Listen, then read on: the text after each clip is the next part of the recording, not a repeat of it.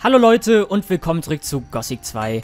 Ja, ich habe mich, mich, jetzt geht das wieder los. Ich habe mich im Internet mal belesen, wie das funktionieren soll mit dem Drachenblut und dabei herausgefunden, dass man nicht jede Waffe verbessern kann, sondern dass das Ganze zum Schmieden eines sogenannten Drachentöters gedacht ist. Aber da ich ja nicht schmieden kann, habe ich da jetzt ein kleines Problem. Ich meine, ich habe, wie viele Lernpunkte habe ich denn? Ich habe 22 Lernpunkte.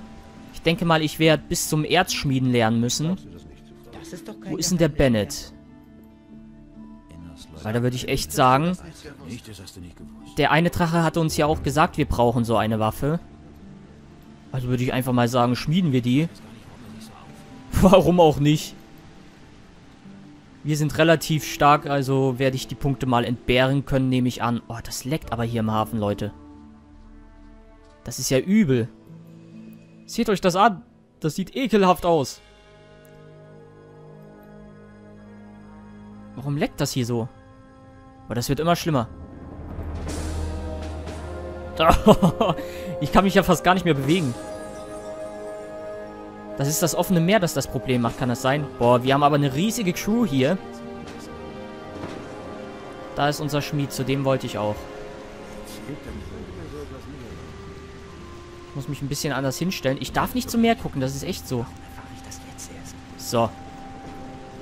Schmieden lernen kostet zwei. Das ist ja schon mal gut, das kostet nicht viel.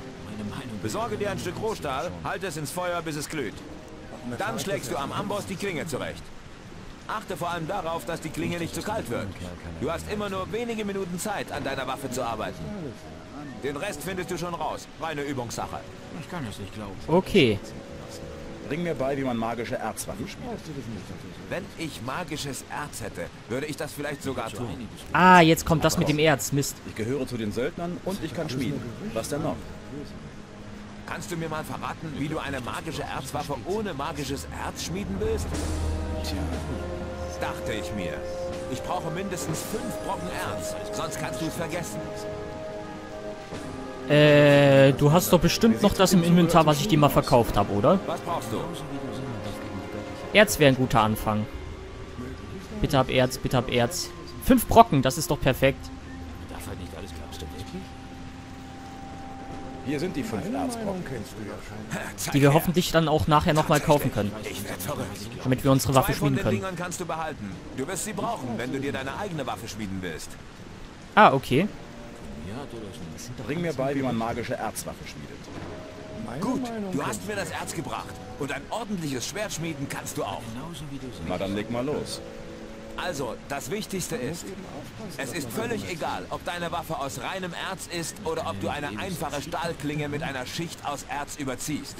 Es kommt nur auf die Oberfläche an.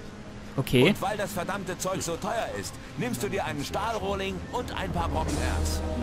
Es reicht natürlich nicht, einfach ein fertiges Schwert mit Erz zu überziehen. Du musst die Waffe schon selber schmieden. Alles Weitere hängt von der Waffe ab, die du herstellen willst. Ich will mehr über das Schmieden von magischen Erzwaffen wissen. Hör zu, ich glaube, ich hatte gerade eine geniale Idee. Erzwaffen Jetzt kommt's. mit Drachenblut überzogen. Ganz genau. Ich weiß auch schon genau, wie ich's mache. Ha, willst du's wissen? Ich weiß gar nicht, warum er sich so gedacht. Äh, oh. Ähm, oh. Was nehme ich denn jetzt? Schwere Erzschlachtklinge kostet 8 Lernpunkte.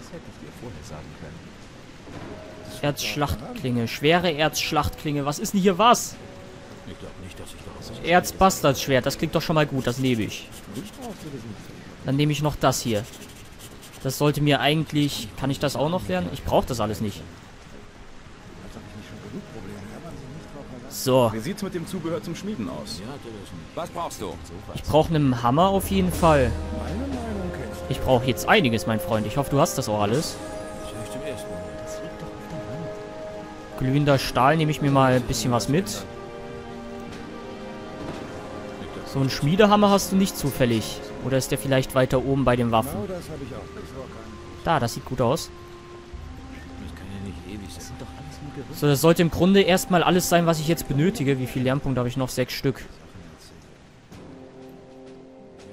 Da bin ich jetzt mal gespannt, was für Waffen ich da mit schmieden kann, ne? Erz habe ich jetzt zwei Brocken. Für den Fall der Fälle kann ich mir bei dem auch sicherlich Neues holen. Oh, wenn ich aufs Meer gucke, leckt das Spiel so böse. Im Fall des Falles kann ich mir bei dem sicherlich noch ein bisschen was dazu kaufen. Jetzt kommt es erstmal nur darauf an, was für Ressourcen ich für die Klingen noch brauche. Ich habe ja jetzt diese Erzschlachtklinge und das Bastardschwert. Mal sehen, wie stark die Waffen sein werden. Hier war doch irgendwo ein Schmied, ne? Ich höre ihn schon. Nein, wer baut denn hier seine Hütte hin? Ich will hier hoch. Und ich werde auch hier hochkommen. Und wenn es das Letzte ist, was ich tue, tada.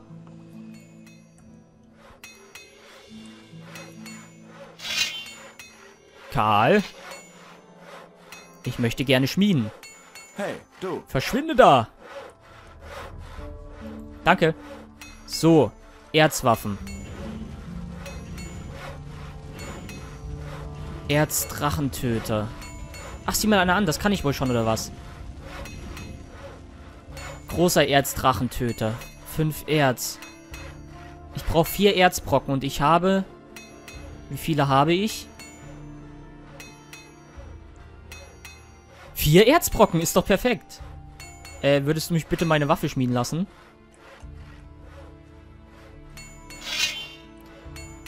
Pass mal auf, mein Junge. Ich sag dir jetzt was ganz Einfaches hier und ganz in Ruhe. Wenn ich sage, du lässt mich schmieden, dann lässt du mich verdammt nochmal schmieden. So. Erzwaffe. Fünf Drachenblut. Uh. Was? 140 Stärke benötigt das Teil. Da fehlt mir aber ein bisschen was für. Ein bisschen viel fehlt mir dafür. Aber vielleicht lerne ich das ja noch, wenn ich auf der Insel bin. Aber ich gehe auf jeden Fall... Obwohl auf dem Schiff gibt es, glaube ich, dann auch eine Schmiede, wo ich mir dann vom Bennett nochmal die Erzbrocken holen kann und das da schmieden kann. Dann nehme ich mir erstmal die Waffe wieder. Gut, dann geht's jetzt weiter im Text. Und zwar... Das ist mal wieder typisch. Ja, klar ist das mal wieder typisch. Und zwar gehen wir jetzt in das Versteck der Diebesgilde. Da gibt es ja den Belia-Schrein. Dort lasse ich das letzte Mal die Klaue Belias segnen. Aua. Damit sie auch ordentlich Schaden macht, wenn wir auf der Insel sind. Na, geh wieder hoch. Die Rüstung ist schwer, ich weiß, aber du musst schwimmen. Boah, wie viele... Weil, wisst ihr noch, welche Stufe wir hatten, als wir die Klinge das erste Mal gesegnet hatten? Also zehn Stufen habe ich doch bestimmt wieder inzwischen gelernt. Das wären dann umgerechnet fünf Level der Waffe. Wir können ja mal gucken, wie viel Schaden die jetzt im Moment macht. 99 und 30 Chance. 99, 30, 99, 30, 99, 30, oh yeah. 99, 30, 99, 30, 99, 30, oh yeah. 99, 30, 99, 30, 99, 30, oh yeah. 99, 30, 99, 30, minus 35, leckt mich doch am Hintern. 106,44, jetzt ist um einiges besser. Okay, jetzt haben wir eine bessere Waffe. Wir sind bestmöglich momentan ausgerüstet. Unsere Crew haben wir beisammen, das Schiff haben wir sicher, den Kapitän haben wir. Wir haben einen schönen Drachentöter, den wir leider noch nicht benutzen können. Wir haben die Klaue Belias wunderbar gesegnet. Dann fehlt uns jetzt im Prinzip nur noch das Erz von Bennett. Und dass wir uns damit eine Waffe schmieden, die wir benutzen können vom Stärkelevel her. Zack. Ich weiß gar nicht, ob da dran steht, wie viel Stärke wir benötigen, um die Waffe zu führen. Ich glaube, da steht immer nur der Name dran. Ach, ich schwimme jetzt zum Strand, das wird mir zu blöd. Weil wenn wir die kleinste Waffe nehmen, können wir die auf jeden Fall nutzen, denke ich mal. Das wäre dann dieses Bastardsschwert. Das Erzbastardschwert. Aber die Schlachtenklinge wäre natürlich ein bisschen besser. Aber was ist, wenn wir die dann auch nicht benutzen können? Dann wäre das wieder ein Griff in den Ofen. Ich meine, sei es wie es sei. Im Prinzip ist es egal. Wir haben ja jetzt auch noch die Klaue Belias. Die ist jetzt eine verdammt gute Waffe. Da denke ich mal, können wir ruhig das Erz investieren. Das, was wir uns mit dem Erz halt leisten können, das machen wir und fertig. Hilfe. Ich gucke schon wieder da in die Richtung und es fängt an böse zu lecken. Also macht euch jetzt auf einiges gefasst, denn wir müssen hier lang. Und es wird sich böse anfühlen. Oh, es geht jetzt schon los. Ja, Freunde. Das letzte Mal, dass wir auf Korenis herumlaufen, denn wir werden bald in See stechen. Zur Insel Irdorat, wo sich unser Schicksal und das Schicksal der Menschheit entscheiden wird.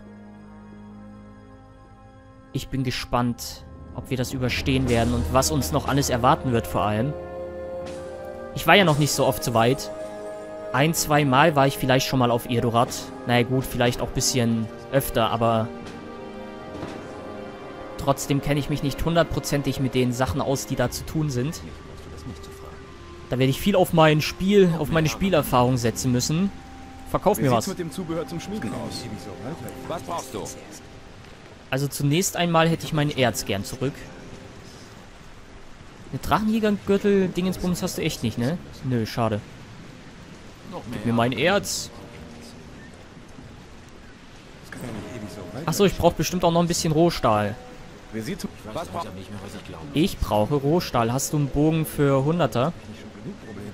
Nö, hast du nicht. Du bist zu schlecht. Alles glauben. Ach, Rohstahl hat er jetzt gar nicht mehr. Ich weiß nicht, ob das mit einer Klinge geht. Ich nehme einfach mal eine. Das ich zum ersten Mal. So, mit wem muss ich reden? Mit dir bestimmt. Oh, das leckt hier alles. Das nicht zu fragen. Lass uns zur Insel aufbrechen. Alles klar. Her mit der Karte und dann geht's los. Alle an Bord! Meine Mannschaft daran, macht sich du auch wirklich bereit. alles dabei hast, was du brauchen könntest. Es gibt keinen Weg zurück. Wenn du dir sicher bist, hau dich erstmal in der Kapitänskajüte aufs Ohr.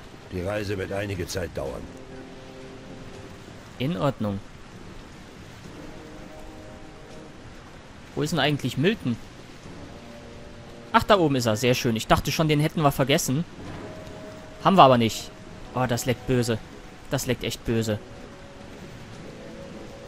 Jetzt nicht mehr. Jetzt sind wir auf dem Boot. Da geht's auf einmal. So, dann wollen wir noch mal sehen. Jetzt leckt's wieder. Lässt sich aber nicht vermeiden. Erzbastardsschwert. Wir nehmen die Schlachtklinge. Waffe hergestellt. Und siehe da. Ist eine Einhandwaffe, braucht aber 120. Da fehlt uns aber nicht mehr so viel. Wer war nochmal der Stärkelehrer? Das war, glaube ich, unser Kapitän höchstpersönlich, ne? Bleib mal stehen, Kollege. Kollege? Kollege? Kollege? Warte Kollege mal. Torloff, bleib stehen. Und bring mir was bei. Ich will meine Fähigkeiten verbessern. Boah, wie das am Lecken ist. Nur wegen dem Wasser, oder was? Ah, wir können nur einen Stärkepunkt lernen. Für den zweiten haben wir nicht genug Gut. Lernpunkte. Jetzt kannst du deine... Das klicken wir mal alles weg. Die Goblin-Bären haben wir ja auch noch. Dann futtern wir die. Was macht denn die Schlachtenklinge eigentlich für Schaden? Das würde mich jetzt mal gerade interessieren. Da habe ich gar nicht nachgeguckt. 140 Schaden, das ist natürlich einiges. Und man kriegt auch noch Einhandtalent-Bonus. Unsere Crew ist bereit, unser Schiff ist bereit. Ich würde sagen, wir stechen in See. Wo ist denn die Kajüte? Die ist bestimmt da oben. Fahren wir los zur Insel Irdorat, wo uns unser Schicksal erwarten wird. Ab ins Bett, wir sehen uns da.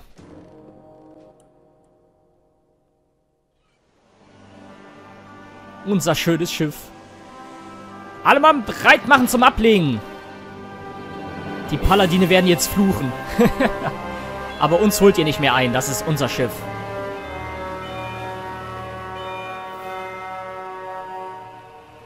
Nach stundenlanger Segelei werden wir hoffentlich ankommen. Oh, wir fahren in den Nebel. Da bekomme ich es mit der Angst zu tun.